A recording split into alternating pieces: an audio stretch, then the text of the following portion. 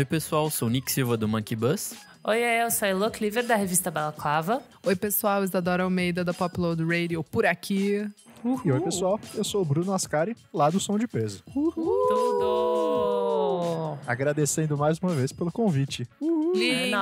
É Voltando aqui agora. pela segunda vez para falar do quê? Para falar de discos que esse ano completam 50 aninhos. A gente vai falar dos melhores discos Nossa. lançados em 1970, Uhul. direto do túnel do tempo.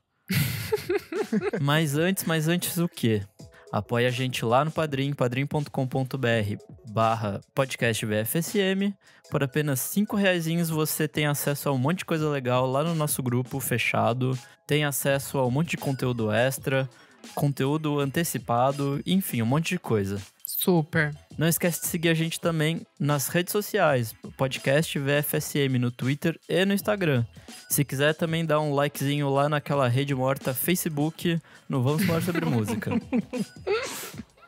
Bom, e dá seu likezinho lá nas redes de streaming, Spotify, Deezer, Google Podcasts, onde quer que você ouça. E a gente tem novidadinhas hoje. O que, que a gente tem hoje? A gente tem uma promoção. A gente se juntou lá com a Build Up Media para fazer um sorteio de um LP do Julie Talk, uma banda que a Isa falou há algumas Chique. semanas aqui no programa. Super. Amei. Já July quero na Talk. coleção.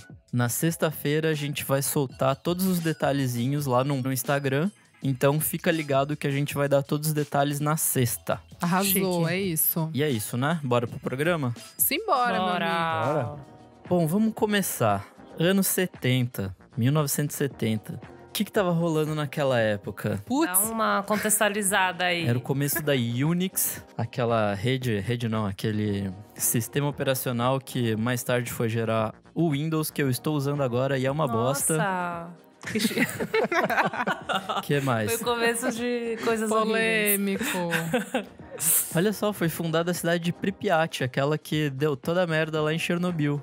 Ai, impactada, Nossa. Nick. Me veio toda aquela série da HBO na cabeça. Você acabou comigo com, esse, com essa intro aqui, mas tudo bem, vamos lá. O Brasil, que foi campeão, tricampeão do mundo da Copa de, de Futebol da FIFA. que mais? O Salvador Allende foi tirado do cargo no Chile para começar Putz. uma mais uma é, ditadura, né?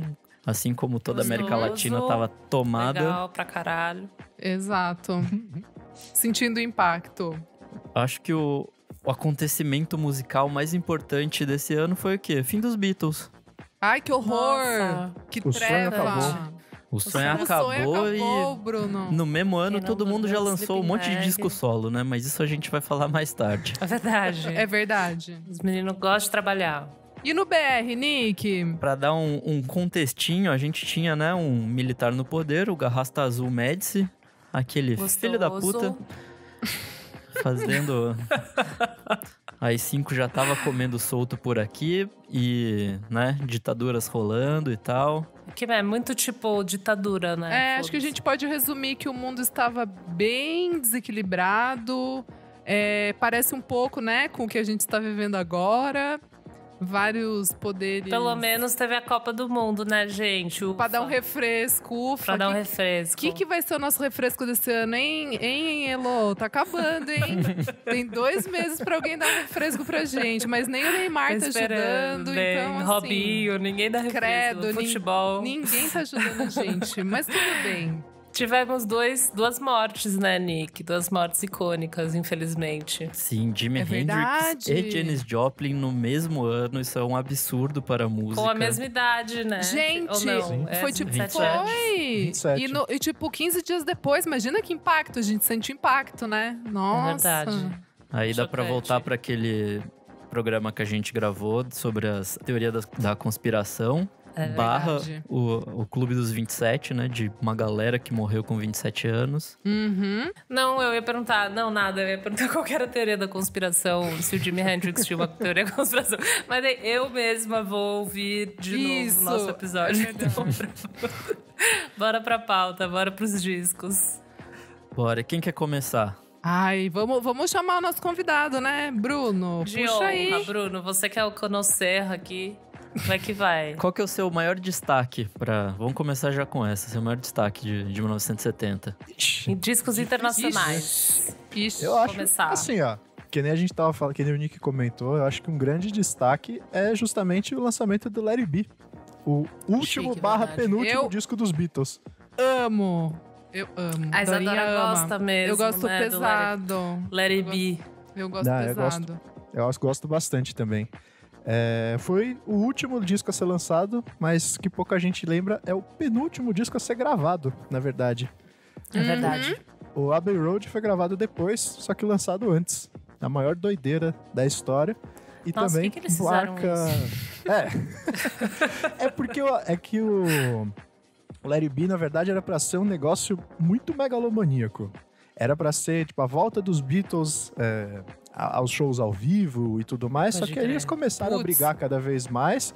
Não deu E- certo. Gravaram só é, aquela apresentação no teto da gravadora Apple um Uhum. pouquinho antes de lançar o disco. E que é uma apresentação muito bacana, por sinal. Iconic. É Iconic. super tudo. E aí, tudo. enquanto isso, tava já rolando as gravações do Abbey Road. E aí eles foram brigando cada vez mais, cada vez mais fazendo seus projetos solos. E, e é isso aí. Boa. Boa. Esse disco Vai. não é o Martin produzindo, né? É o. Não, não. Ele participa, ele ajuda em acho que uma ou duas músicas só na questão de orquestração, mais, mas não tem, não tem a produção dele, não. Saquei. Inclusive dá pra ouvir o Let It Be Naked, que é uma versão Ah, sem essa in- é. instrumentação e tudo. Não existe isso no Spotify, mas procura no YouTube que você vai achar e é bem legal. Pode crer. É, tem no, no- É no Anthology? Eu já ouvi isso. Onde que tem Sim, isso? sim, tá no, Tem, no né? Anthology tá no tem Anthology, tudo. né? No Anthology tem tem, tudo. Pode crer. Demais, verdade, Nick. Quem vai agora puxar um? Não, queria puxar o ganchinho só que a gente tava falando que cada um tava fazendo os seus próprios rolezinhos. Tivemos o Paul McCartney lançando o McCartney. O Ai, disco pelo amor de Deus. Tudo solo, mal. solo mal. dele. E daí teve o Joleno lançando com a. Esse eu nunca ouvi, sabia? Esse é Uau, famosaço, é Plus Kill No Band. Então, mas é que Grande eu nunca disco. entrei. Plastic No Band. Ah, Nunca esse é brabo, esse é dele. brabo. É eu, brabo? Fui, eu, eu fui ouvir por causa da exposição. No começo desse, Eu nunca tinha ouvido inteiro também.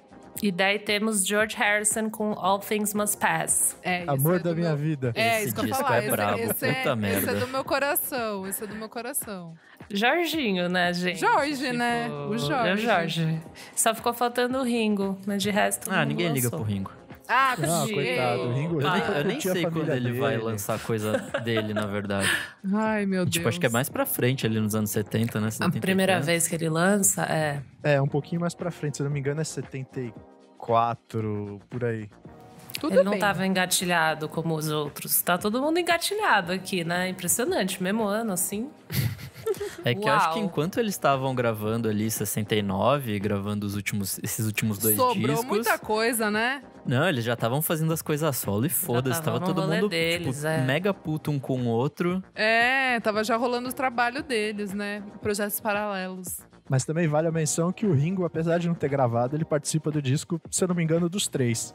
Ele Ah, toca é? pelo menos uma Então, ou outra então. faixa no disco de todo mundo. Um- é, eles, eles pegavam o- só o, sei lá, o, o, o Leno e o McCartney que não não estavam estavam querendo se pegar, né? Mas o, o George também gravou umas coisas, né, com o, com o Leno. Sim, sim.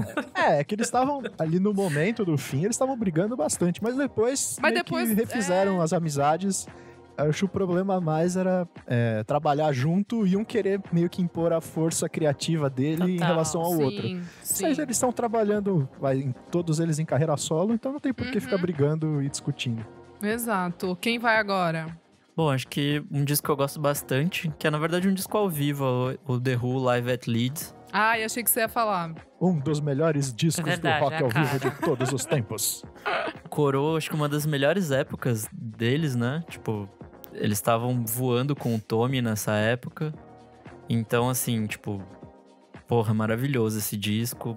É, é, é, de fato, acho que um dos melhores momentos da carreira deles, assim. Então, Uhum. esse disco é brabo demais. Brabo. Eu vou. Eu, eu acho que eu vou em um, porque eu vou deixar um outro pra Elo. Vai. Porque eu sou muito Não le- sei. Porque eu sou muito legal e essa semana eu vi que ela tá pegada, pegada nisso Ai, daí. para, já sei o que você tá falando, então tá bom, vai, Então tá para bom. agora.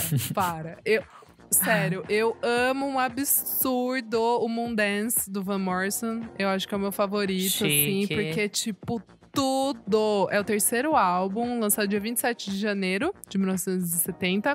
E assim, é bizarro, porque ele vem logo depois do Astral Weeks. E o Astral Weeks é. Assim, na época ele foi um fracasso. Mas assim, ele é 10 de 10 na Pitchfork, meu bem. E o Astral Weeks é maravilhoso, é realmente perfeito. Ele é realmente 10 de 10. E eu não entendo como que ele não foi na época bem. Mas enfim. Mas eu sou mais Team Mondance. Eu amo. Tem Caravan, que é, tipo, uma das minhas músicas favoritas da vida. Tem Into the Mystic, que é maravilhosa. É, enfim, esse álbum é perfeito. E muito feliz que ele é dos anos 70, que eu posso falar aqui neste episódio. Porque hoje em dia não dá mais, né? O velho enlouqueceu. Exato, cance É. cancelamento. Van cancelado Morrison. Van Morrison cancelado. Ai, e aí, ai. se vocês me permitem, nessa linha mais do folk e tal, eu quero Ai, que trazer um vai. disco que eu Vem. amo de Vem. paixão. É um dos discos da minha vida mesmo, que é Deja Vu, do Crosby, Stills, Nash Young.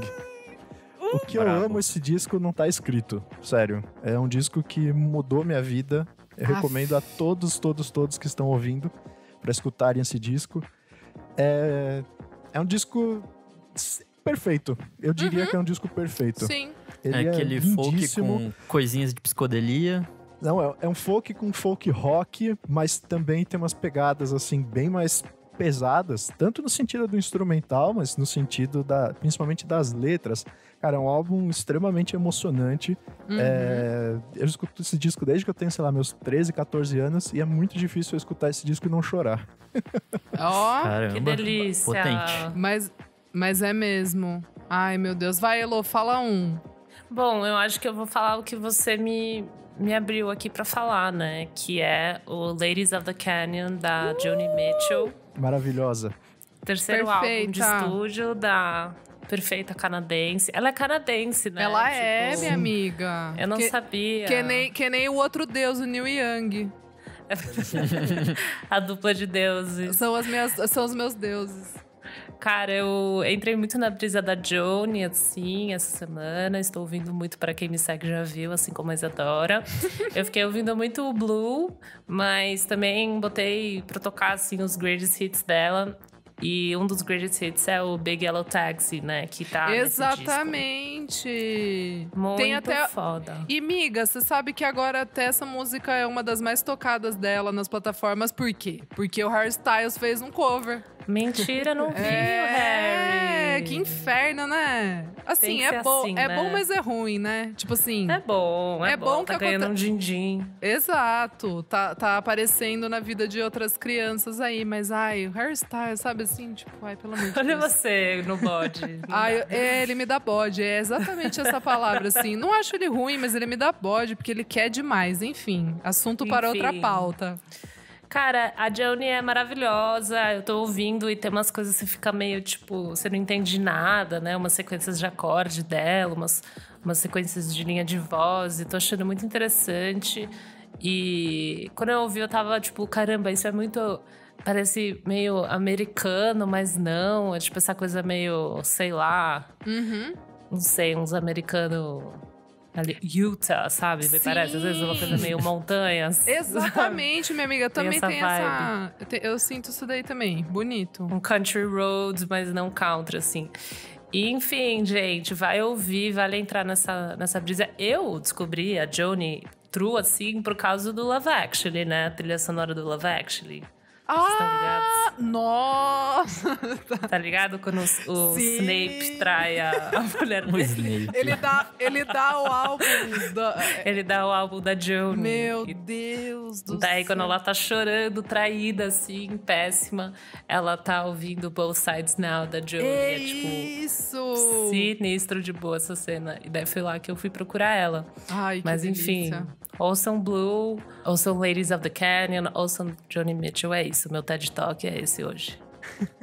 Pô, eu quero puxar um que é, na verdade, um gancho pro Bruno. Que é o Pink Floyd, o. Atom Heart Mother. que. Uh, uh. saiu o vídeo há pouquíssimo tempo, né? No, no Som de Peso. Então fala aí desse disco da vaquinha. O famoso disco da vaquinha. ah, o disco da vaquinha do Pink Floyd é basicamente é, a transição do Pink Floyd. Então, Pink Floyd antigamente tinha um som mais psicodélico por causa do Sid Barrett, que era uma das principais forças criativas da banda. Só que começou a ficar muito doido de ácido, se perdeu na, na, Uhum. na própria Nossa. cabeça, né? E, e aí esse disco é o primeiro sem ele. Então, a partir desse momento, eu sinto que o Pink Floyd começa a ir para um lado assim mais do rock progressivo mesmo Roqueiro, né? de, de experimentar mais coisas com colagem de fita, tem bastante orquestração no disco, que é um negócio que eles não tinham feito antes e tal, que vai se desenvolver cada vez mais para chegar ali na sonoridade que o pessoal conhece mais do Dark Side. Então é um disco que tem uma faixa, por exemplo, a faixa de abertura que vai ocupar o lado A inteiro do disco, que é a própria Atom Heart Mother, é uma suíte de 23 minutos e tanto. É bem Oh, é. doideira, mas é interessantíssimo. É um negócio que eu recomendo muito e é um disco que infelizmente é mais conhecido pela capa do que pelo som, que também é muito bom. Nossa, esse, esse começo de Pink Floyd eu nunca entrei muito na brisa. Eu vou tentar de novo, mas não, não consigo muito, Full não. of Secrets, vai lá. Arrasou. Eu posso ir? Vai que vai. Ou quem vai? Porque eu agora também já tô meio que nessa onda aqui do que o Bruno tinha falado. E eu vou pegar essa onda na sacada de cometa, que é After the Gold Rush do meu príncipe Neil Young. É o, terce- é o terceiro álbum dele. Esse é brabo demais. Acabei de olhar aqui, não sabia. É 10 de 10 também na Pitchfork. Olha que loucura. Nossa, não sabia. sério? Não sabia que esse álbum era 10 de 10 na Pitchfork, mas faz sentido, porque, tipo, After the Gold Rush é muito clássica. A Only Love Can Break Your Heart, que depois ficou famosíssima com a Saint Etienne, naquele pop delícia britânico.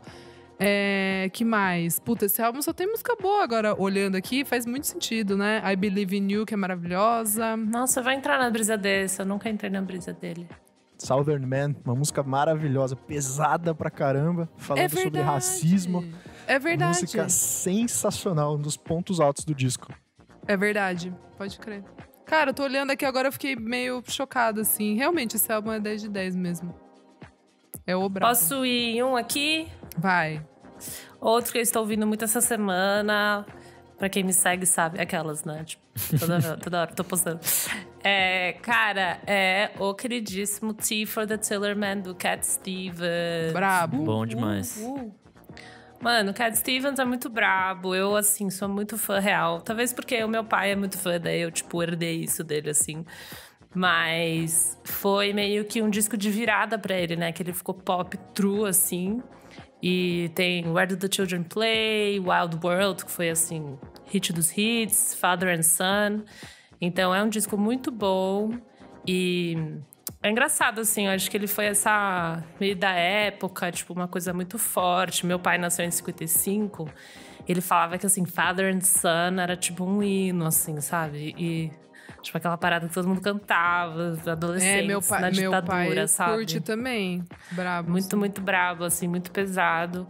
E eu acho isso lindíssimo. Eu acho que Father and Son até hoje carrega essa emoção, né? Tipo, desse relacionamento conturbado politicamente entre um filho e um pai, assim. E eu ouço até hoje. E ele acha, ele ti- sentia essa relação com o pai dele, eu sinto isso com ele, né? Muito louco, tipo, independente, você vai sempre ser muito diferente do seu pai, assim. Então, muito maluco. Cat Stevens. Hoje não é mais Cat Stevens, né? Hoje É verdade. É. Ele não, não. Sei lá, o, o, o Spotify dele é Yusuf barra Cat Stevens. Sim, Talvez é porque as pessoas não iam conseguir achar Exato. também, né? As pessoas não conseguem achar. É que ele se converteu ao Islã, né? Então, por isso ele, ele Converteu. mudou o no- o nome. Então é isso, gente. Se você quer se sentir esperançoso com a vida, você vai ouvir Cat Stevens. E muito gostoso, ídolo teen dos anos 70. Bom, vou voltar aqui pras roqueiragem pra falar de Led É Zeppelin muito bom. é- 3. a gente- vocês vão de roqueiro, a gente volta. Vocês vão de roqueiro, a gente volta. Vai. Pô, Led Zeppelin 3 é clássico. Mas é um disco legal, assim, é uma coisa um pouco mais indo pro folk, assim, tipo, é bem diferente da vibe dos dois primeiros, que era aquele blues rock pesado, e no quarto, onde eles Uhum. se sedimentam como o Led Zeppelin que a gente conhece, né? É, Cara, eu gosto bastante desse disco, ele essa vibe mais violãozinho dele, assim, em alguns momentos eu acho muito incrível. Como o, o guitarrista que eu acabei de esquecer o nome, Jimmy Page. como Jimmy Page, consegue fazer umas paradas muito loucas, seja na guitarra, seja no violão. Então, pra mim, esse disco, de fato, é muito legal. Chique. Eu vou seguir então, numa linha mais roqueira, como o Elo disse. Bora! Não podemos rock. esquecer dos dois primeiros álbuns do Black Sabbath, que saíram Verdade. em 1970 também. É. O primeiro, no dia 13 de fevereiro de 1970, uma sexta-feira 13. É, Uou. Tinha que é, ser, né? brincando. Meu Deus. Muitas pessoas dizem ser esse primeiro disco do Black Sabbath a- o surgimento do heavy metal. É, pode crer. Não foi meio flop quando saiu? Não teve uma brisa assim? Ou não? É, mais ou menos. Mais ou menos. O segundo Ele vendeu disco foi mais relativamente sucesso, né? ok no, no Reino Unido. E Uhum. aí, tipo, a gravadora falou: olha, vocês têm, tipo, mais uma chance pra gravar. E aí eles falaram: beleza, vamos lá. E aí eles gravaram, tipo, Paranoid em pouquíssimo tempo. Esse Ah. primeiro disco eles gravaram é, o disco inteiro, o Black Sabbath, né? Foi questão de, tipo, 16 horas dentro de estúdio. Foi, tipo, em um Tá dia. Caralho. Meu Deus do céu. E aí, tipo, no dia Dale. seguinte, eles foram, mixaram, é, arrumaram, tipo, um, dois vocais ali que tinha. Credo. E o disco tava pronto, em dois dias. Menino. Coisa de gente Aí pro insana. segundo. É, coisa de doido. Aí pro segundo a gravadora virou e falou: Não, não, vocês têm mais um tempinho. Aí eles gravaram, tipo, em quatro dias. Ah, Meu Deus. Com calma. Gente, o Paranoide é tudo. Eu não sou muito do, do rock pesado, Do mas rock eu fui roqueiro. no show do, do rock roqueiro do cabelo comprido. Mas assim, eu fui no show do Ozzy, foi assim. Quase tive um negócio, quase chorei, porque chama pesado, assim, chama muito ainda. É, e Planet Caravan, eu acho uma das melhores músicas da história, assim, tipo, ever, ever made. Eu acho inacreditável que aquela música foi feita em 1970, assim, tipo, fico. What? Iron Man é desse disco, não é? É, do Paranoid. É do É, Paranoid. então, é do Paranoid. É, tipo, é vem, um tipo, clássico. vem na sequência, tipo. é esse começo, né? War Pigs, Paranoid, Planet Caravan e Iron Man é tipo, beleza, tá. Vocês gravaram então. Esse gravou em um dia? É isso? Não, esse é o segundo. Eles gravaram Em em, quatro. três, quatro dias. Coisa, beleza, em uma semana, beleza. É, menos de uma Tá bom. semana. E só pra puxar mais um rock do estilo velho, tem o Deep Purple também, com In Rock, que é aquele Ah. disco mais famoso deles, talvez o único, porque uma banda meio esquecível, talvez. Mas esse disco é legal, tem algumas músicas boas. Não, pô, tem Machine Head, que é o seguinte, que é o que tem Smoke on the Water, poxa. Não, não. Isso que eu ia falar agora. Purple. o único álbum que eu Puxa, conheço Nick, é o que pelo tem amor de Deus, não fala assim deles, cara. Ai, cara, eu não consigo. E a história de que estava pegando fogo, aquela coisa, né? Que todo mundo já sabe. Se o Kleber tivesse aqui, ele ia falar que esse é o rockzinho vapor de virilha. Eu não, não consigo. Ai, meu Deus. Ainda bem que ele não tá pra falar isso aí. É bem isso, é bem isso. Eu vou, eu vou mudar o tópico aqui, hein? Eu vou Boa. rodar essa, essa ciranda aqui. Eu vou com o Funkadelic, com o primeiro Chique. álbum, Bom né? pra caralho. Puta Maravilhoso. vida! Chama, né? Chama demais também. Nove na Pitchfork, hein? Nove. Olhei Eu aqui. não lembrava que esse disco era dos anos... Era, tipo, 1970, exa- cravado, assim, tipo... pra Ah, mim era depois.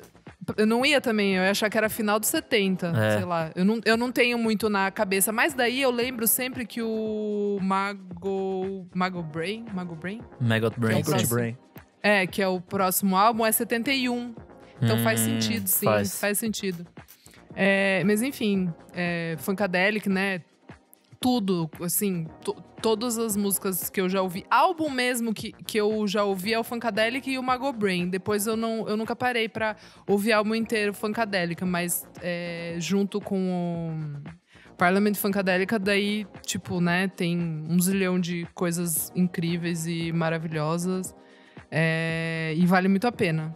Vale muito a pena. Quem curte, sei lá, RB, música psicodélica, né? Tipo funk. É isso. Eu vou aqui, eu vou pro soul aqui, pra a rainha das rainhas, Aretha Franklin, com Uh! This Girls in Love With You, que eu já tinha ouvido antes, mas eu fui revisitar pra pauta, e é toda uma seleção de grandes hits, assim, covers, né? Porque This Girl's in Love With You é uma música que eu conhecia pelo Herb Alberts, né? Que foi lançada em 1970, 1968. Mas é This Guy's in Love With You dela. Mudou pra ser fofa. E eu fui ler depois que tem uma versão de Let It Be que foi lançada antes de Let It Be. Olha que maluco. Eita! Olha só. Porque esse disco foi lançado em janeiro de 1970 e o Let It Be, Let It Be foi lançado em março. Ou alguma coisa assim. Então o, Mar- o Paul McCartney mandou pra Rita Franklin tipo, uma demo pra ela fazer. Então, teoricamente, foi, saiu antes da versão dos Beatles. Só eu vi na isso, né? internet, Só a Areta lançou Só uma a música dos. Beatles Fraca, antes dos fraca. Beatles. Tá bom. Meu, sinistro, né? Enfim. e então, muito bom. Vários hits. Tem Let It Be, Eleanor Rigby, This Girl's in Love With You, que é uma música do, do Burt Bacharach, que é um cara, tipo, mega Então, foda. Sussa também, só coisa Sussa, né? Sim, é só uns covers, tipo, bem leves, assim. e daí, fazendo uma... e Daí eu tava no Vortex da internet, né? Tipo, você vai procurando. E daí tem uma, um link que o Burt Bacharach, Bacharach também escreveu aquela música... Ah, não, não é do mesmo ano. Eu ia falar Raindrops Keep Falling on My Head, mas Raindrops Keep É Falling antes, on My não Head é? de 68. É, eu acho que é antes. É, É, antes, é então tudo antes. bem. Mas é esse cara foda aí que escreveu. eu já ia fazer, tipo, toda uma teoria da conspiração, mas não deu certo, gente. Tá Desculpa. tudo bem, minha amiga, tá tudo bem. É isso. Mas também tem outra diva do pop, só pra ficar nas divas, a Diana Ross. Eu ia falar dela agora mesmo. Fala, como assim? Você falou de diva e não falou da Diana? Tem que falar da Didi, né? Mas enfim, Didi. ela lança o Diana Ross, que tem Ain't No Mountain High Enough, se eu não me engano, né? Essa música é braba. Porra, gente, é o, o hit dos hits, né? Não tem o que dizer. É muito bom. Gente, a gente, assim, simplesmente, né, foi um ali, escolhendo ali, coisa e tal, e a gente não falou do quê? Daquele maravilhoso que a gente já falou aqui várias vezes, que é o Curtis, com o Curtis. É verdade, a gente já Curtis falou várias vezes o Curtis. Nossa, Muito tá bom. louco. Gente, mas teve vários hits. Teve o James Brown também lançando nesse ano, né? Ele lançou o Sex Machine. Sex Machine.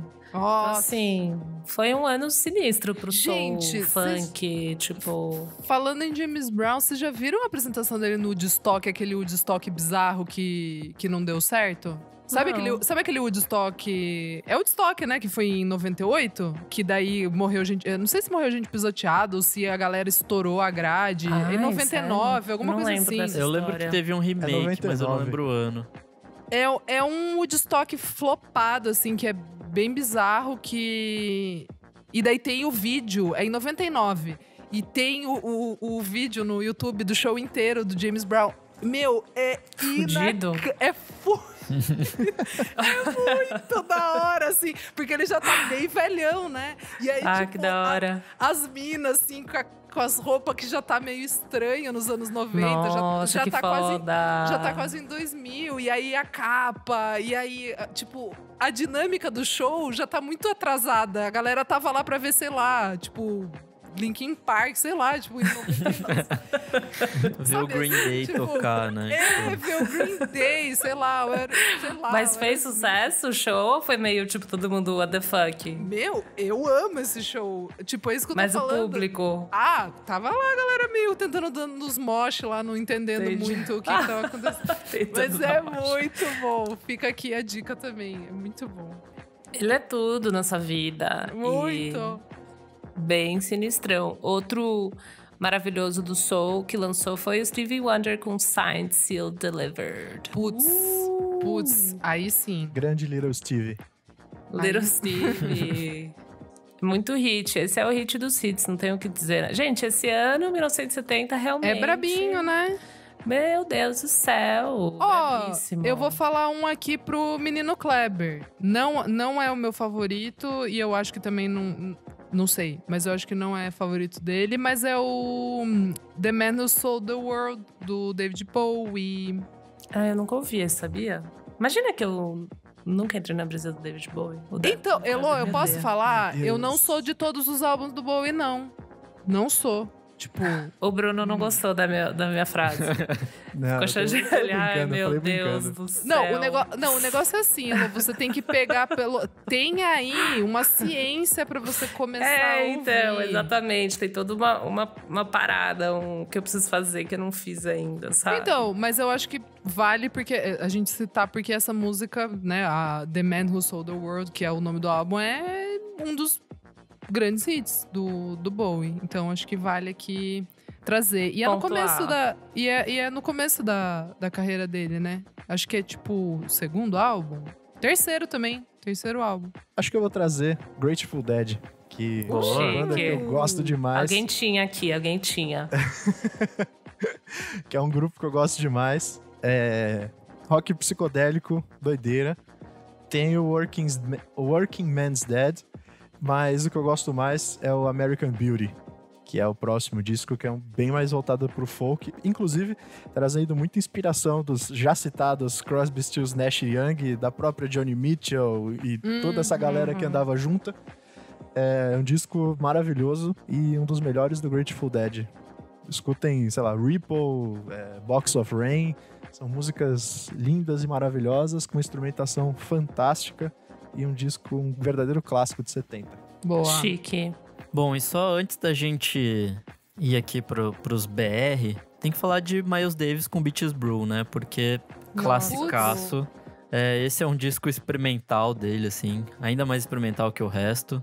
É, sei lá, tem umas duas músicas com 20, 30 minutos cada, assim. Ocupa, tipo, um lado de um disco. Então, é... É, é, sei lá, é, é um disco bem esquisito, mas é muito gratificante ouvir, assim, tipo, cada vez que você ouve, você descobre alguma coisinha nova, algum elementinho novo. Isso é muito legal de ouvir. Boa. É um dos verdadeiros marcos do Jazz Fusion. Sim, O sim. pessoal fala, não é o surgimento, né? Que teve coisas antes que ele mesmo fez, mas muita gente fala que é tipo um dos maiores discos de Jazz Fusion da história. E o time de músico que participa é de outro mundo. É um disco sensacional. E realmente, é, como que o Nick falou, é um disco que às vezes você escuta a primeira, segunda vez, assim, você acha tudo meio estranho, tudo meio esquisito. Mas é, dê um tempinho, escuta de novo. é, se desliga das redes sociais e do celular, põe o fone de ouvido e embarque nessa grande viagem com o Miles. É que ao mesmo Nessa tempo que ele, que tipo, ele vai pra uns cantos muito diferentes, ele te abraça também. Então é muito legal esse, esse negócio, assim, de tipo, ao mesmo tempo que ele te empurra, ele te abraça. Então é interessante esse conceito de ouvir música sem ser, tipo, só, uau, que bonito, sabe? E bora agora dar uma resumidinha nesse final de lista dos gringos pra gente ir pros BR logo, porque, né, tá na hora. Pra gente não levar bronca do Kleber. Isso, pra não levar a bronca do Kleber. Mas assim, temos, então, que a gente não falou. A gente falou The Velvet Underground com Loaded. Também Meu Deus, falou. sim. Jimi Hendrix com Band of Gypsies. Temos. Temos The Doors, Marston Hotel. Temos Simon and Garfunkel, Bra. Bridge Over Troubled Water, que é um- uma delícia. Eu adoro o Simon and Garfunkel. É meio de velho, né? Mas eu adoro. É, mas total. Tem, ó, tem Supertramp também, hein? Tem Supertramp, tem Putz. James Taylor, Sweet Baby James, que é muito bom também. Puta, Bidizer aqui também. Gees, tem... Gente, tem muita coisa nesse ano. Você tem, tem, tem Nick Drake, tem Bob Dylan, New Morning também, Eric Clapton, Tem o Sid Barrett solo. Sid Barrett solo. Tem o Genesis, que acho que é um dos primeiros discos deles. Tem Eric É, esse Clapton. do Fleetwood Mac não é, não é tão legal, mas vale, mas vale citar. Sabe que tem que não tá na lista? Eu fui ver, eu acho que o ABC do Jackson 5 também, acho que é dos anos 70, se eu não me engano. Foda. O mais É, hit foi se- é, se 69, for. né? Mas tem o ABC. Cara, então muitas coisas. Tem o muitas velho. Dylan também, com New Morning. Temos. O avô tem do o Rod Felipe. Stewart, mas assim. Enfim, disco bom é o que não falta em 1970. Hey, I'm Ash, and you're listening to the podcast BFSM. Se vamos pros brasileiros. Bora pros Bora. BR, que também a lista tá Tá pesadíssima. brabíssima essa lista. Quem quer começar? Quer começar, Bruno? Eu? Puxa. Convidado, Vamos lá, né? cê- Responsa. Olha, eu vou. Então eu vou começar com um dos meus discos preferidos da música brasileira de todos os tempos, Uau! que é Stone Flower. Ah, Ai, você roubou, é meu também. Então, então já falaremos junto. Puta falaremos merda, juntos. total. Puta, total. oh, e essa capa, eu já falei aqui no episódio de capas, é talvez a minha capa favorita da música brasileira. Eu amo essa capa, eu acho tudo. Assim, o cara é um puta gato, né? Tá tipo assim, chiquérrimo, chiquérrimo. Não, mas Sim, tudo puta é perfeito. Mas continua, desculpa, Bruno, desculpa, a gente aqui. Ah, Não, pô, que isso. fangirl. Eu ia falar que realmente a capa é maravilhosa. É, é um disco que ele gravou pela CTI, que era um selo de jazz maravilhoso. E dentro dessa, desse disco tem minha música. Vai ser meio esquisito isso que eu vou dizer, mas é a minha música preferida do Jobim, que é Choro. Putz, É uma bonito, música hein? curtinha, Boa, tem dois demais. minutos e meio, mais ou menos. Mas é, é uma das coisas mais sublimes que a música brasileira possui. Escutem. Com muito amor É e um momento. É um momento mesmo, mas eu já vou também falar da maloqueiragem de God and the Devil in the Land of Sun, que é perfeita. Teresa My Love, que já começa ali, né? Tchu, tchu, tchu, tchu, que é maravilhosa, que eu amo. Sabe assim? Começa ali de boa, daí vem umas bombas, assim, do nada, né? Daí tem a versão de Brasil com 7 minutos. Incrível, né? 10 de 10. É isso. Bom, vou falar um aqui também que eu ouvi muito, que é o Chique Barco de Holanda, volume 4, que foi lançado nos anos 70 também, que eu sempre amei. Os dois grandes hits, eu acho, talvez, é o Moça Tá Diferente, que eu acho que é assim, música popular, pesado, todo mundo conhece. E Samba e Amor, que depois eu acho que foi popularizada pela, mais pelo Caetano, talvez, assim, mas está nesse disco também do Chico Buarque. Muito Tudo. maravilhoso. Lacraste, Chico. Eu acho muito engraçado essas primeiras capas dele. Tipo, Total, é ele só, né? Olhando assim, tipo, meio estranho. é, é, é muito anos 70, assim, é muito engraçado. Bom, eu, te- eu tenho que falar aqui de um disco que eu amo demais, que é o Jorge Ben com Força Bruta. Puta Brabo. que pariu, que disco bom. É, é a fase, acho que mais samba rock ali do Jorge Ben, né? Ele já tá com, sei lá, 5, 6 anos de carreira, talvez um pouco mais. E muito experiente já no que ele fazia, que ele, ele saiu de uma coisa um pouco jazz samba e vai pra esse samba rock. Uhum. E acho que esse é o ponto alto dessa fase, assim, dessa, dessa digamos, segunda fase dele. E tem muita música boa nesse, nesse disco. Puta, acho que é um dos pontos altos da carreira dele ali, desse, desse comecinho. Boa. Com participação do trio Mocotó, vale dizer. Ah, é Que verdade. ajuda ele- bastante na parte da percussão e tudo mais, que deixa o disco que o pessoal brinca e fala que é uma das, um dos precursores aí do samba rock. Elô, vamos, vamos Oi, junto baby. aqui. Vamos junto nesse, nesse, nesse álbum de estreia aqui. Dela. Somente dela. Nossa Ritinha. Build Up, Rita. Não, essa capa, assim, Não dá. clássica também. Não dá. Cara, esse disco, vamos ver qual é, qual é a tracklist desse disco? Vamos ver. Ó, começa com sucesso aqui eu vou. Build Up, né? Braba. Uhum. Gente, ela tá meio twig, né? Essa, va- essa, Muito. essa época dela. Daí ela manda And I Love Him. A versão de Rita, né? Ai, Ai, juro. gente, a Rita, juro por Deus. Ela é, É muito maravilhosa. Macarrão com linguiça e pimentão também, a gente precisa pontuar. é muito bom. É o começo do, É o das começo. maravilhas. Que ela, que ela foi quicada lá pelos machos escroto e vai fazer o, nome dela maravilhosa. Mas esse ano ainda tem um dos mutantes. Ela ainda tava nesse no Então, ela. Ela tava, ainda, casada, ela não tava. tava? Ela tava ela casada tava com aquele ainda. cara. Ela tá prestes cara que a... está pa- Nossa, ser gente, aliás, mesmo? o Arnaldo Batista, ele tá até. É. Vocês viram, gente? Ele tá rifando a- o casaco dele porque tá sem dinheiro. Vocês viram que isso? Sério? Sério. Nossa, velho. Tipo, sério. Eu fiquei. Mas se eu em ganhar, eu vou choque. deixar o casaco com ele. Sim, mas é. A galera, boa tá, coisa. a galera tá incentivando pra, tipo, se. Aliás, gente, quem Tadinho. puder, custa 50 reais. Participa lá. Caralho, Exato. 50 reais. é. Participem. Mas, Foda. enfim, gente, só tava zoando o Thales. Assim, eu falei machos escrotos, mas só pra. É, eu porque li o na livro época dela e é realmente. muito bom. É, É muito bom. Todo o jeito que ela descreve o relacionamento dela com ele. Tipo, não- era muito estranho, juro por Deus. Mas enfim. Ah, mas eles não foram os caras mais legais, né? Eles queriam fazer outro tipo de som Não. e falar, tipo, "Ô, sai daí. É, E exatamente. já- A gente tá no prog agora, sai daqui. Não, e ela fala no livro que foi meio que ela casou só pra fazer parte, assim, pra meio que, tipo, como uma desculpa do porquê que ela estava Que lá, porque ela morava com eles, porquê que ela tava lá, sabe? Então é, tipo, meio que muito estranho, assim, o papel Que da mulher, loucura. assim, naquela banda. Enfim, né? Leiam o livro da Rita, é muito engraçado.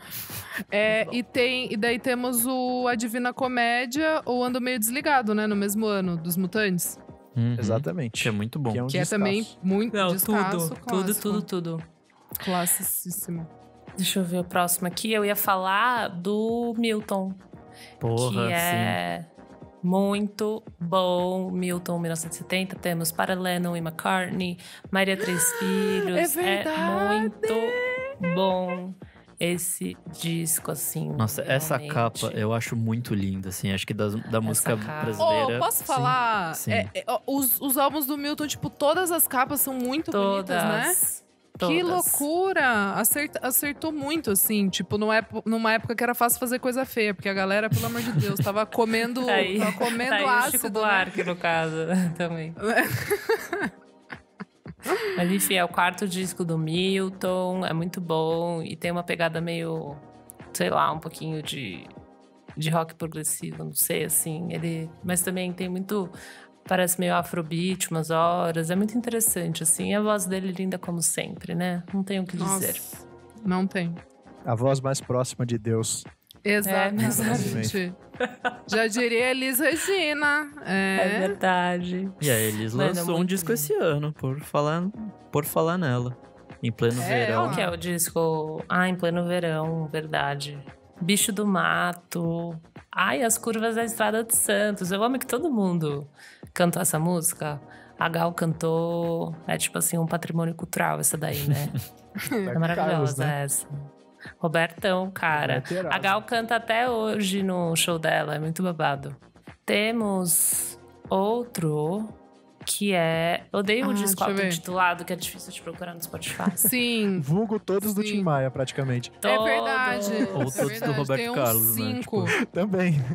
É, aqui, Tim Maia, eles colocam no Spotify o ano. Tim Maia, 1970. Hum, Ah, esse é tem. bom. Eu Agora amo que Essa é a você estreia dele. Puta que me A pariu. estreia dele. Tem todos os hits, Azul da Cor do Mar, Primavera.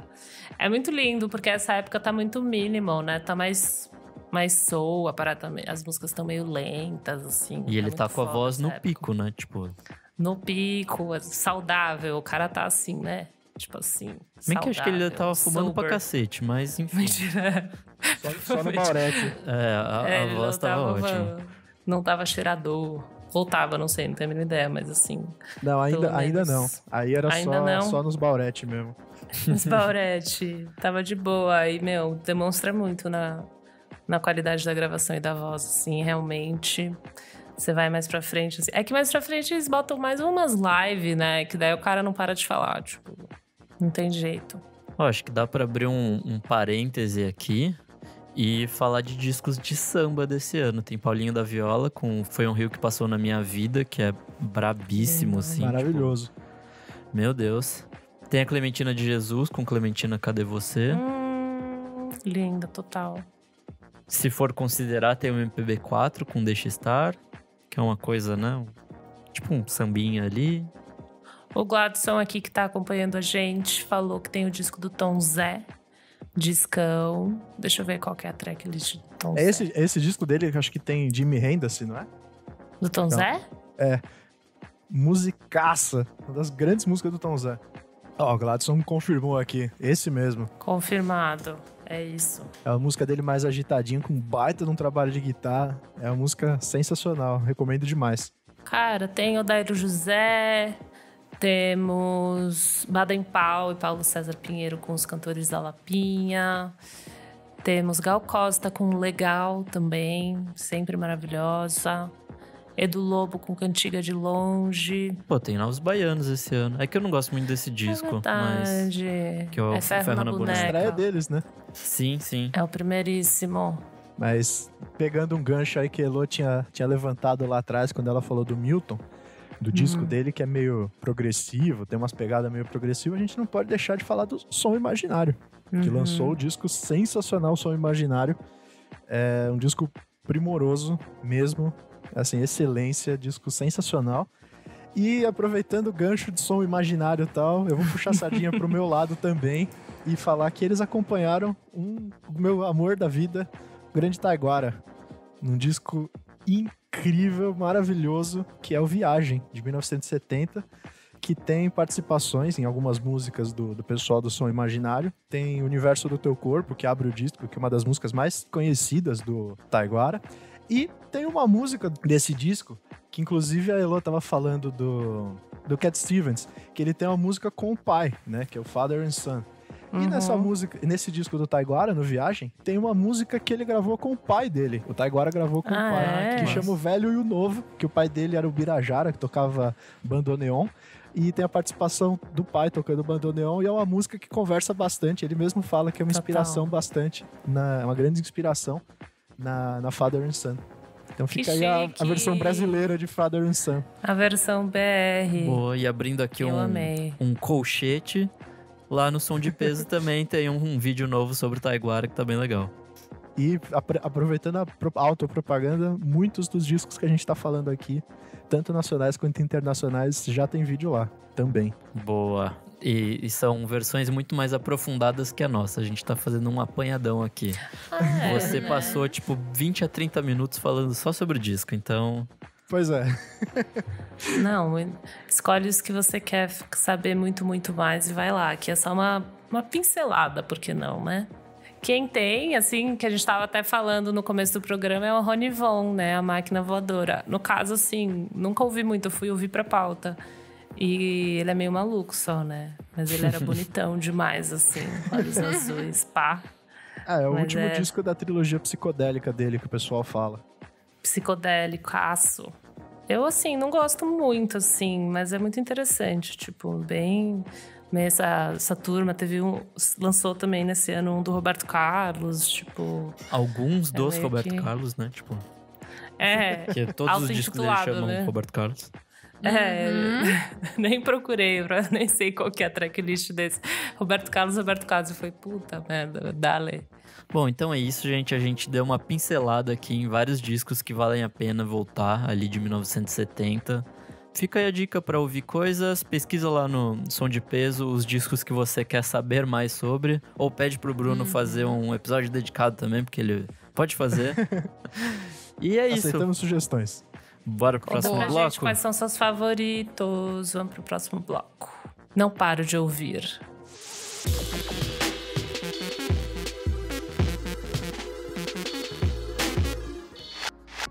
Segundo bloco, não paro de ouvir. Dorinha, o que que é esse bloco? Nesse bloco, a gente vai trazer os lançamentos dessa semana ou, sei lá, desse mês que a gente não para de ouvir. Tudo, Bruno, nosso convidado, né? Vamos começar com o convidado. O que você não para de ouvir? Ixi, eu tô escutando as duas músicas novas que o Stevie Wonder lançou. Ó, Delícia! As músicas Depois novas que de- não são tão novas assim. É, mas enfim, né? Stevie Wonder novo, aparecendo de novo. a gente Caiu na rede. feliz. Mas né, Stevie É. Wonder é sempre maravilhoso de ouvir, então só Pois bora. é, pois é.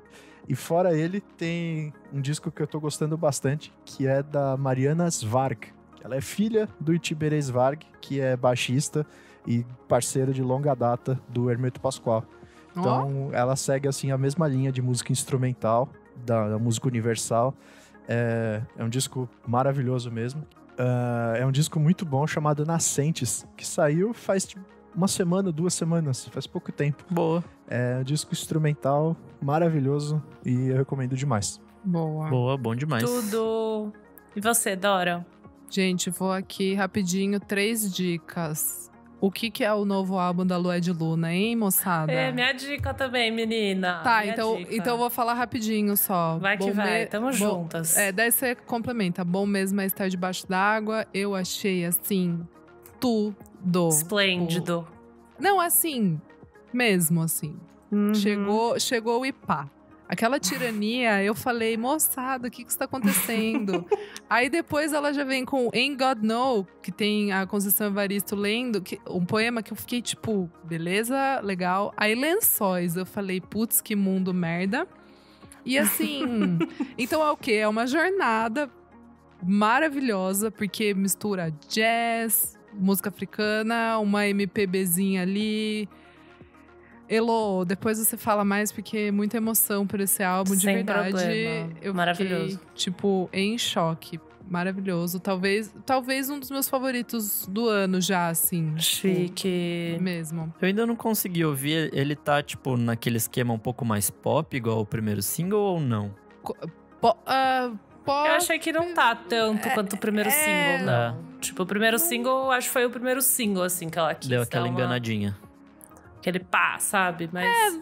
Não, ah, é, mas, mas também não é um álbum difícil, assim. no- Não. é, É que o é. primeiro Tipo, também não é, não é difícil, não é né? difícil. Ele é, Não tipo, é. muito feito, listening, elaborado, assim. mas o que eu digo é que Exato. aqu- aquela primeira música me pareceu muito com uma estética mais pop, assim, mais acessível mesmo. Ah, mas. ah, ah, bom, eu achei o álbum uma delícia, assim. Não foi uma coisa que eu falei, putz, agora eu vou ter que parar o que eu tô fazendo pra entender o que tá acontecendo aqui. Sabe? Tipo, acho que não exige. Claro, você Não. tem que prestar atenção na letra, né? Que, que Uhum. são letras fortes e tal. Tem ali. Nossa, pelo amor de Deus, tem, tipo, umas. Uns instrumentos ali, tipo, o jeito que ela. Que, que- que ela. E tem um produtor também, que eu esqueci agora o nome. É, ela gravou no Quênia, né? Alguma, algumas coisas. Foi isso, né, Elo? Eu acho que. Acho foi, foi um projeto que ela gravou em alguns lugares, que né? é. Na Bahia, daí em São Paulo também. Enfim.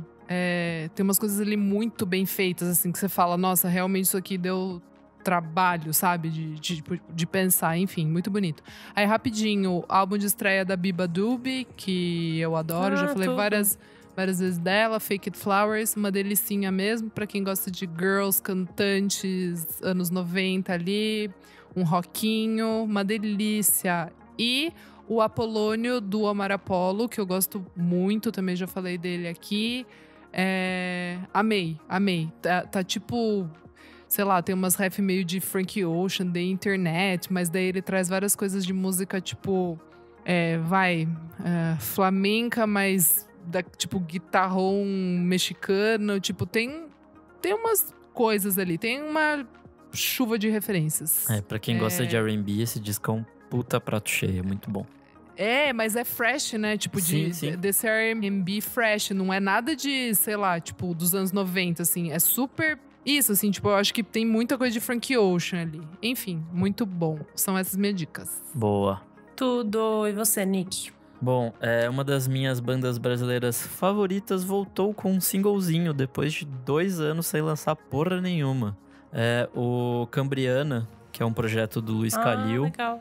É, eles lançaram uma música essa, essa semana, não, semana passada, que chama Gamma Ray Burst. Puta, é, ele segue mais ou menos naquele esquema do Manaus Vida Louca, de ser uma coisa muito fresh, assim, muito nova, numas experimentações muito loucas. Pra quem gosta de Radiohead, assim, é um prato cheio. A voz do, do Luiz é, tá, tipo, muito boa, muito bem trabalhada. E acho que é isso, assim. É, é uma das músicas que eu mais gostei, fiquei ouvindo bastante é, durante a semana, assim, e acho que vale muito a pena pra quem gosta da banda. E é isso. E você, Lô? Bom, eu estou ouvindo o novo da Luedi, que eu tô dissecando ainda, mas eu gostei de tudo que a Dorinha falou.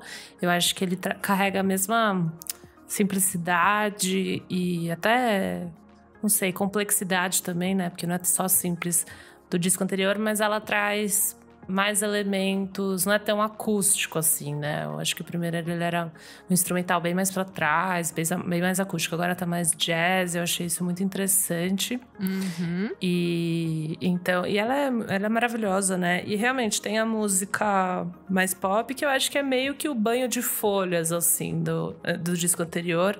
Talvez seja o que ela tentou fazer nesse single, sabe? Tentando dar esse paralelo de entender que o disco realmente não é pop, assim. Ele. As letras são. A, a estrutura são simples, mas ele não é pop nesse sentido, bora festa, tipo, com certeza não. E outro singlezinho que saiu é da dupla Cara Bobina, que é o Fefel do Bugarins com a Alê. A Alejandra, ela. Cara, acho que quem trabalha com som assim conhece a Alê, ela faz muita mesa e retorno de palco, assim. Ela é, ela é engenheira de som. E ela faz palco da Letrux, já fez, já faz muito rolê assim. Ela também mixou o disco da, da Brunx. Muito foda, assim, uma pessoa muito foda. e ela começou esse projeto com o Fefel, que chama Cara Bobina. Eles lançaram o primeiro single deles, o Pra Variar, e é bem divertido, assim. Ele é eletrônico, mas também tem uma coisinha bem tipo popzinha, mas com meio bem psicodélico nas vozes, na estrutura. Eu achei bem massa. Então, esse primeiro single saiu agora e o disco tá para 6 de dezembro, se eu não me engano. Vale a pena acompanhar, tipo, duas pessoas muito talentosas fazendo som, assim, eu tô, tô bem animada. E é isso. Boa, bom demais. É isso, gente. Bora pro próximo bloco? Bora. Bora. Perfeito, você precisa ouvir isso.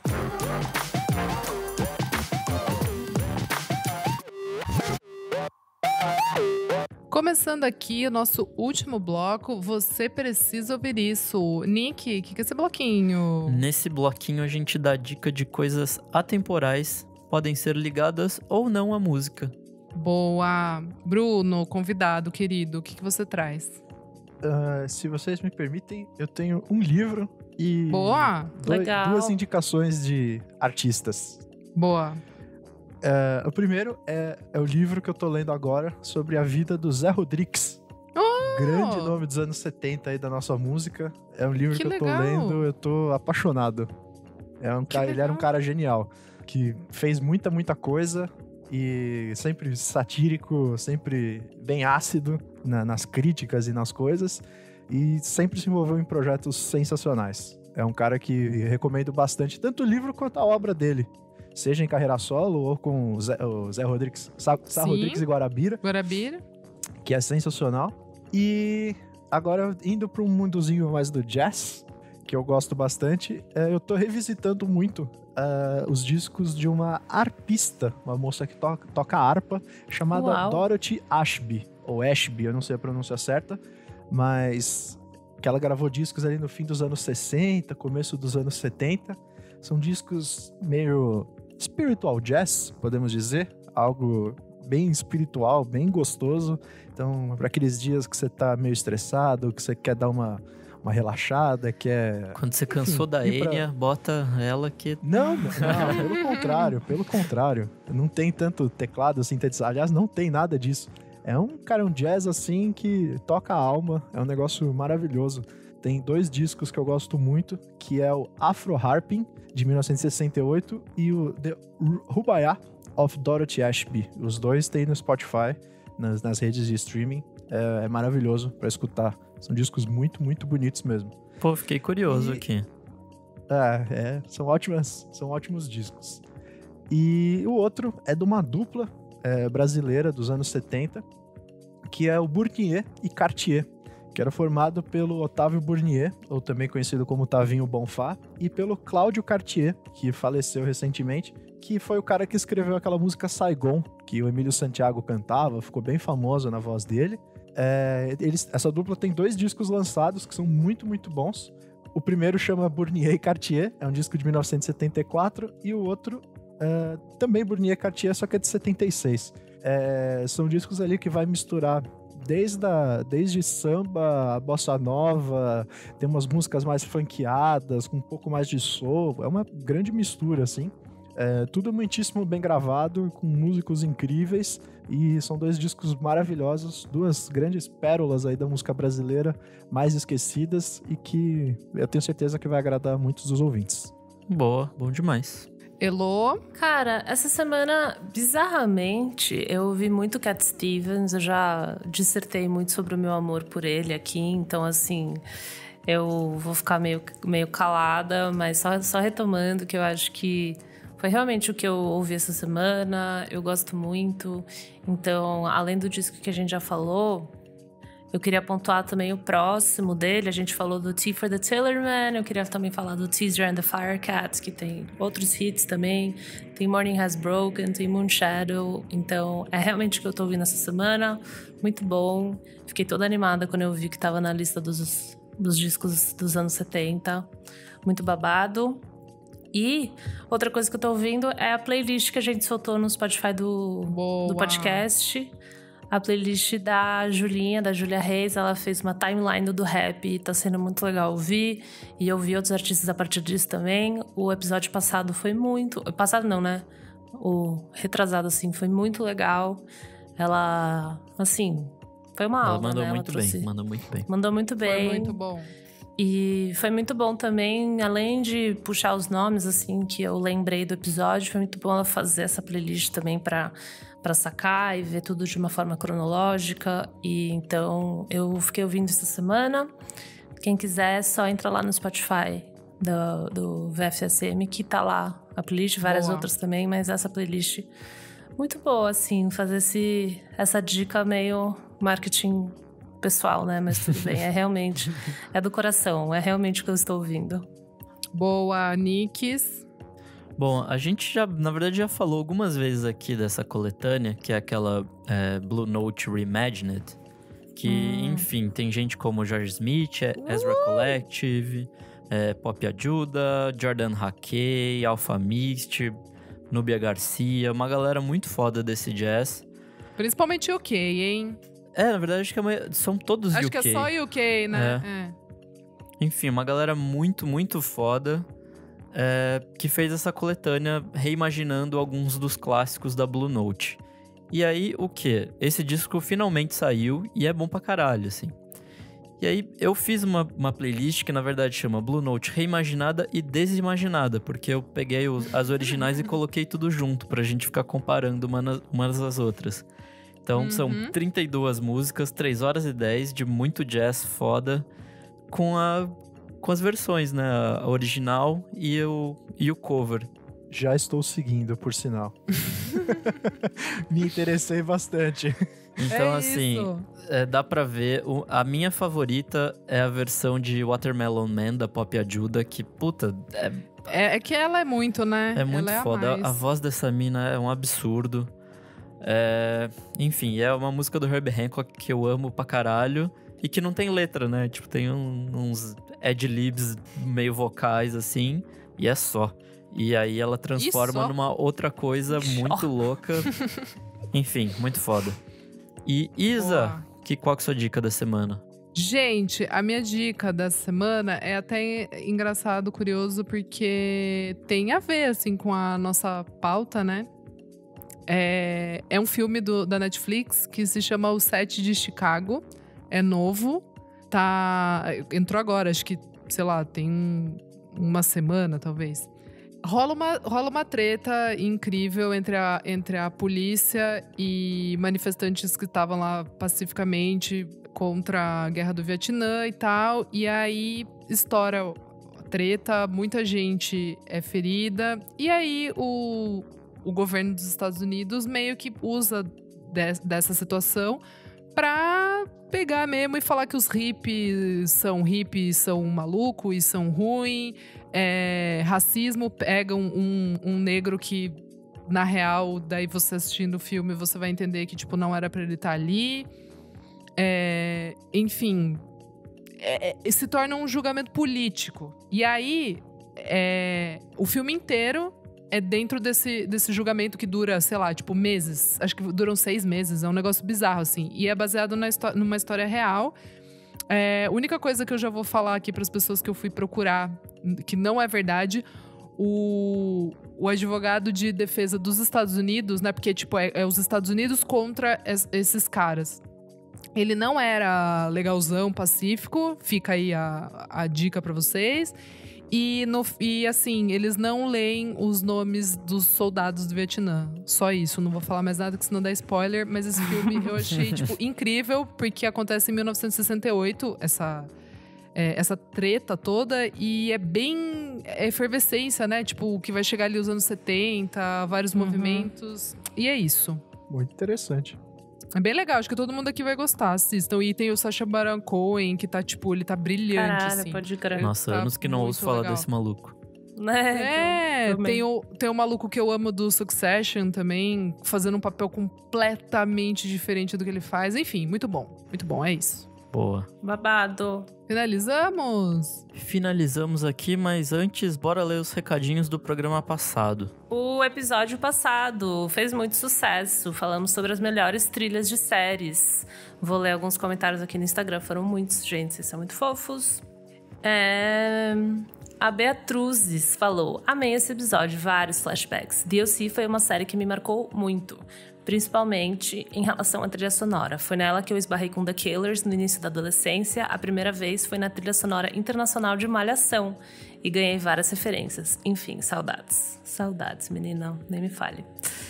Temos o arroba Darwin Marinho, maravilhoso esse arroba. A trilha de Insecure é tudo pra mim. Na primeira temporada, a Solange participou da seleção das músicas e o Rafael Sadig é responsável pela trilha, pelo Ó. menos até a terceira temporada. Nessa última temporada, teve Mando da Caliutes antes de sair como single, e a cada episódio saía uma música inédita que fazia parte do álbum da temporada. Nossa, que chique! Caralho, que brabo. Não sabia. Twin Peaks também é um babado e até hoje escuto e fico passada. Na última temporada tinha uma apresentação musical em cada episódio e rolou Chromatics, Sharon Van Etten, Nine Inch Nails, A Revoa. Simone e outras. Vocês não citaram, mas Lovecraft Country também faz uma junção muito boa de músicas da época em que a série se passa e músicas atuais. Toca Billie Holiday, Nina Simone, Cardi B, B.B. King, Frank Ocean e por aí vai. Arrasou no seu comentário, Darwin Marinho, adorei. Eu vou ver, eu nunca vi Insecure. E falando em Twin Peaks, a gente levou um puxão de orelha do Kleber lá no Twitter. Levamos. A gente falou. A gente não, né? O- Vamos dar os nomes aos bois aqui. O Renan falou que era uma trilha simples. E na verdade, o Ângelo Badalamente, que é o cara que compõe essas trilhas, é um cara pesadíssimo, né? Então, levamos O essa. Kleber ficou bravo. É, ficou. Ficou bravo. O Flávio PP falou, o que é uma verdade. Acho que faltou uma menção honrosa a Glee. Não tinha música original, mas alavancou e trouxe de volta muitos É cantores verdade. barra grupos que estavam meio esquecidos. É verdade. Eu achava um Alguém- porre, mas é verdade. É verdade, infelizmente. eu amei a primeira temporada. Eu fui ouvir de novo várias coisas, assim. É super verdade, gente. A gente não falou sobre Glee. Mas, assim, eu não sei se a gente tem saco, mas Glee dá, tipo, um episódio inteiro, né? Porque são muitas temporadas, são muitas coisas que foram revisitadas. Mas aí, menina, é uma questão de se a gente quer e eu não sei se a gente quer. A gente já tá falou bom? mal de é musical. verdade. não precisa falar mal de série musical, né? Vamos, vamos É, deixar essa tem- passar. É, exato, exato. Ai, ai, meu Deus do Ó, céu. vou ler aqui um comentário que a gente teve no e-mail. Então, pode mandar e-mail Nossa. também que a gente lê. O Lojuan Alves falou: Como assim vocês não citaram Eufória da HBO no episódio de músicas de série? Hum. É verdade. Gente, eu não assisti, eu não cito o que eu não assisto, então quer dizer, É, desculpa. eu comecei a assistir e não gostei, mas é verdade.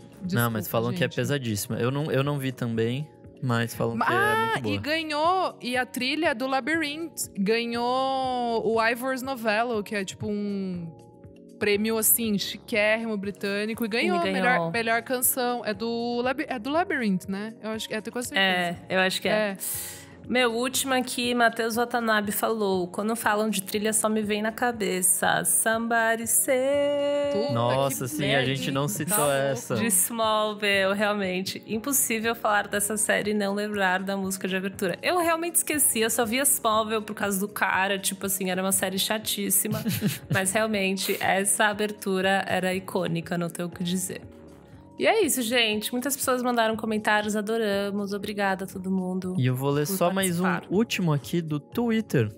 Do Gladson, que inclusive é nosso padrinho e está assistindo. Ele falou de The Wonder Years, que né, é aquela Nossa, série do verdade. Kevin que a gente chegou a, a citar A gente brevemente aqui. comentou, é. E ele falou da, da versão de With a Little Help from My Friends, do Joey Cocker, que é a abertura dessa série, que é muito boa. É tipo classicaça, e acho que esse é um dos motivos por nunca renovarem a série nas reprises, Direitos porque deve autorais. ser caro pra caralho licenciar essa música. E é isso. Nem me fale. Arrasou. É isso, gente. Vamos falar das nossas redes sociais agora. Bruno, qual que é as suas redes onde as pessoas te encontram? Bom, é, as principais é no YouTube, lá no canal Som de Peso, com muitas listas e muitas análises de discos das mais variadas épocas e estilos e de tudo. Chique. É, e também no Instagram, arroba Bruno Ascari, tudo junto, que tem umas diquinhas diferentes do que normalmente sai no canal. Então vale a pena seguir também pra ficar de olho. Eu sou o arroba Nick Silva no Twitter, Nick Silva no Instagram. E é isso aí. Eu sou arroba Elocliver no Instagram e no Twitter e arroba Revista Balaclava também no Instagram. Quem quiser se tornar um assinante da revista, gente, a gente bateu a meta. Vai ter revista semestre Parabéns. que vem. Não, tô muito feliz. E logo que, assim, lógico que a gente bateu a meta, agora a gente dobrou a meta. É então tem isso. mais meta, gente. Vamos lá. Assine também, é só cinco reais Próxima meta é podcastica, então bora lá. podcast, porque podcast é isso aí. menina. O Nick vai ser nosso editor, então é assim, isso. tá tão em casa, bora lá. É só acessar o apoia-se, apoia.c barra, enfim, vai na bio É da Revista isso. Balaclava que é mais fácil, tá bom, gente? É isso, um beijo. Eu sou arroba Almeida Dora no Instagram e Almeida Dora Underline no Twitter. Um beijo. Bom, pessoal, é isso. Super obrigada. Segue a gente lá nas nossas redes sociais, arroba podcast VFSM no Instagram e no Twitter. Também temos o nosso Facebook, para quem ainda é adepto da rede. Segue a gente na sua plataforma de streaming favorita, Spotify, Apple Podcast. Dá um follow por lá que ajuda bastante a gente. Você também pode ouvir o podcast no Orelo, é um aplicativo gratuito. Você pode pagar também, mas é um aplicativo gratuito que lá a gente recebe uns centavinhos a mais do que o Spotify, então fica à vontade para dar seu play por lá.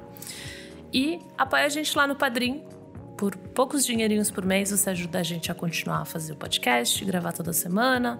padrim.com.br barra podcast. E é isso, gente. Super obrigada. É isso. É isso, assim, gente. Até semana que vem. Beijo. Vocês querem cantar uma música de fechamento? Vocês ficam bem à vontade. Alguma coisa dos anos 70, Isadora? Ah, eu não sei, hein, Elo? eu acho que hoje eu tô meio desanimada pra cantar, mas tá tudo bem, assim. A música. Pensa na música que toca o seu coração. Tá bom, então. Pronto. Acho a que é música que isso. toca no seu coração, a gente tá cantando pra você, gente. Um É beijo. isso, um beijo. Tchau. Tchau.